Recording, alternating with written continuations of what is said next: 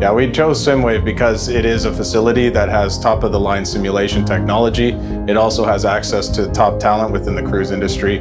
And it is a place where we can bounce off and innovate our policies and procedures. But it's amazing to see when you have a full simulation of the, the bridge and then a full simulator for the engine control room and how those can work in harmony together and really replicate the environment on board to provide such a great place for our people to learn.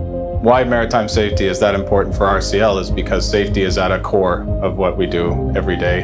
And so how SimWave fits into that picture is that we're able to have a place where we have some of the best technology and we're able to bring our people and have access to top talented instructors. One of the real benefits of SimWave is coming here to Royal Caribbean's Maritime Training Center and really receiving an incredible training experience. From the moment you arrive at the airport to the moment you leave at the airport. There are multiple full mission simulators, full mission bridge simulators, which have state-of-the-art technology. They provide a very realistic training experience for the officers here using the simulators.